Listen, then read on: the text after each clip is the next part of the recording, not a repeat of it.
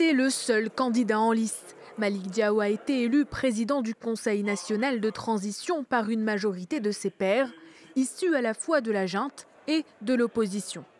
On est là pour se battre et c'est la continuité et une suite logique de la lutte que nous avons menée au sein du M5 pour apporter ce changement tant attendu par les Maliens et les Maliens. Ce colonel, personnage clé du coup d'État d'août dernier, participait à presque toutes les consultations avec les organisations de la société civile, comme ici en septembre.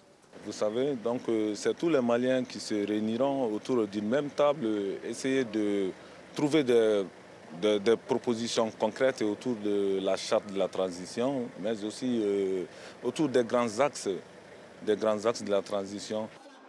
Une transition dont le CNT, organe législatif, votera les textes des réformes prévues. Mais avant même l'élection de son président, sa composition, négociée entre militaires et civils, suscitait la controverse.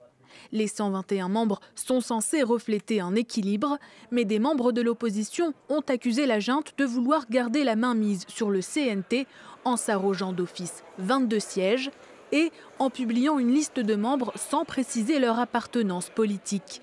Un manque de transparence que le Premier ministre malien, issu de la société civile, réfute. Non, les rôles sont bien répartis. Euh, chacun joue sa partition. Nous avons tous à cœur de nous hisser à la hauteur de la mission qui nous a été confiée. Les militaires ont assuré que la transition prendrait 18 mois, une durée qui pourra être prolongée après un vote du Conseil national de transition.